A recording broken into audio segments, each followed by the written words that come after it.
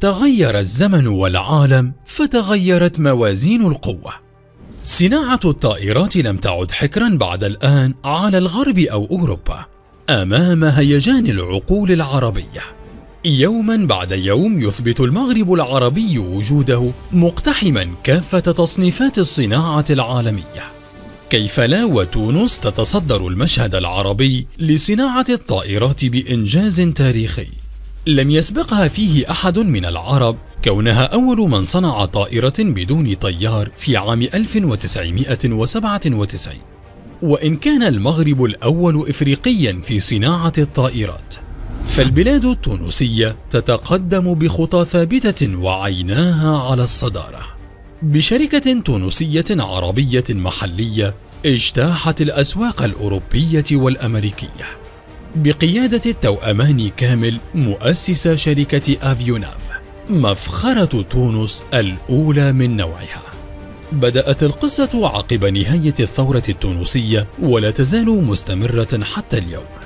طموح كبير نحو المنافسة الدولية واكتساح المراتب الأولى. قطاع صناعة الطائرات بتونس مستقبل زاهر بأياد عربية خالصة. فما هو سر هذا النجاح؟ وإلى أي حد سيتميز التونسيون في هذه الصناعة؟ هذا ما سنكتشفه فابقوا معنا. وطبعا كالعادة نذكركم بالاشتراك بقناتنا وتفعيل زر الجرس. قصة حلم رغم كابوس الفشل.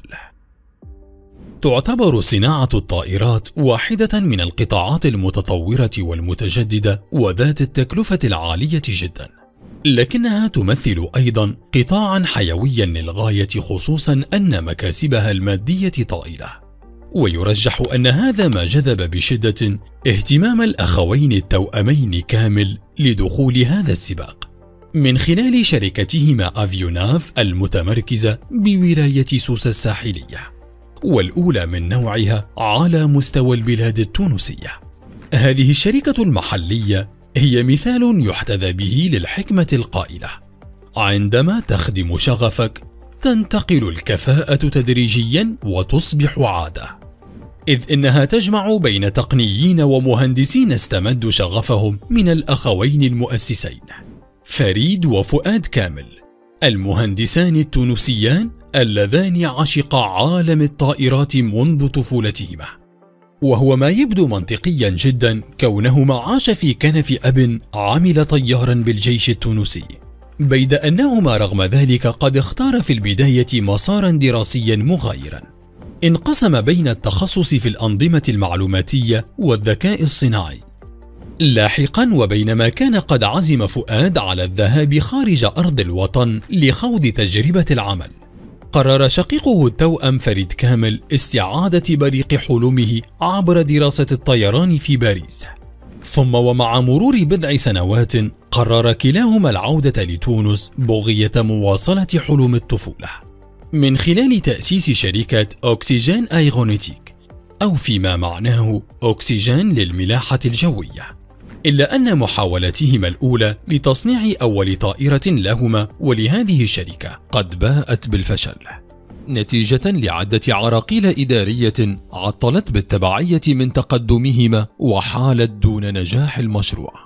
لكن الحظ قد ابتسم أخيرا لهما في سنة 2014 ليؤسسا شركتهما الحالية آفيوناف ذلك حينما وجد عرضا لا يرفض لشراء شركة إيطالية مقيمة بتونس بحيث أنهما استثمر مدخراتهما وتداين المال لأجلها كونها كانت مختصة في صنع الطائرات الصغيرة. لكن لا تحسبن أن بوابة النجاح قد فتحت بعد لكل من فؤاد وفريد كامل إذ إنهما اضطر لطرق أبواب المستثمرين لإقناعهم بتمويل انطلاقة الشركة. وهو ما كان لهما بعد أن نجح في تحصيل مبلغ قارب 2.15 مليون دولار. سمح لهما بالارتقاء بالشركة وجعلها عصرية أكثر لتتوافق مع المعايير الصناعية الدولية. مما ساهم لاحقا مع بدايات سنة 2016 في بيع ما يصل ل 38 طائرة وهو ما يمثل علامة فارقة كأرقام مبيعات. قياسا على عمر شركة آفيوناف التي تميزت بأسعارها التنافسية التي لا تتعدى في الغالب مبلغ 140 ألف يورو. ثم ودون ذلك فقد استفادت الشركة أيضا من انخفاض تكلفة اليد العاملة ومهارة خريجي الجامعات التونسية الذين تمكنوا من تصميم وصناعة وتركيب كل أجزاء الطائرة ما عدا محركها المستورد. إلا أن ما قد يكون حقا أبرز ما ساعد على رفع ثقة الحرفاء والترويج لجودة المنتج. هو حسن تطبيق الشقيقين كامل للمعايير العالمية فيما يصنعانه من طائرات خاصة في ظل الشهائد المسندة من هيئة الطيران الاتحادية بالولايات المتحدة. ولربما يتضح ذلك في جنسيات المشترين لطائرات أفيوناف المتوزعين على كل قارات العالم. من خلال عدة دول مثل تونس والبرازيل والسعودية وأستراليا وفرنسا وحتى أمريكا. حيث اختار هؤلاء التعويل على المهندسين فؤاد وفريد لسد حاجياتهم المختلفة. فمنهم من طلبها مثلا لأغراض عملية سواء فلاحية أو تجارية ومنهم من أرادها للترفيه. وبالوقت الذي نجحت فيه الشركة أيضا في استقطاب كبرى الشركات العالمية عبر اتفاقية سابقة تتلخص في تعاون يجمعها بشركاء أمريكيين لتصنيع مقاعد لطائرات الشركتين الغنيتين عن التعريف بوينغ وإيرباص. طموح منقطع النظير. من البديهي لكل مستثمر أن التخطيط لتطوير المشروع أمر مفروغ منه. لذلك كان من المنطقي أن يعلن فؤاد كامل في أواخر السنة المنقضية نيته الواضحة في التوجه نحو تصنيع الدرون بالتوازي مع عمليات توسعة الشركة المخطط لها من أجل زيادة الطاقة الإنتاجية. حتى يبلغ العدد السنوي للطائرات المصنعة 100 طائرة بحلول سنة 2026 ما سيتطلب رفع عدد العاملين ل 140 عاملا من خيرة المهندسين والتقنيين التونسيين.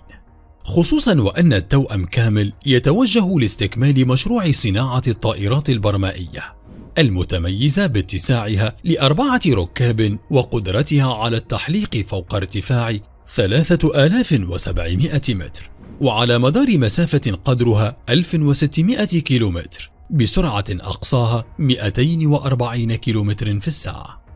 بالطبع هذا ما قد يكون التصور القادم لشركة أفيوناف في حين أن حاضرها لا يقل شأنا البتة عن مستقبلها. بخاصة بعد تمكن طاقم الشركة من تركيب وتصنيع أول طائرة هليكوبتر في تونس. بل حتى وبيعها مؤخرا ب 120 ألف دولار لبلد أفريقي لم يقع الكشف عن هويته بعد إلا أن المعلوم لنا أن طموح فؤاد وفريد كامل يصل لحد فرض السيطرة على أفريقيا فهل ستنجح تونس مستقبلا في أن تكون الرقم واحد إفريقيا في صناعة الطائرات؟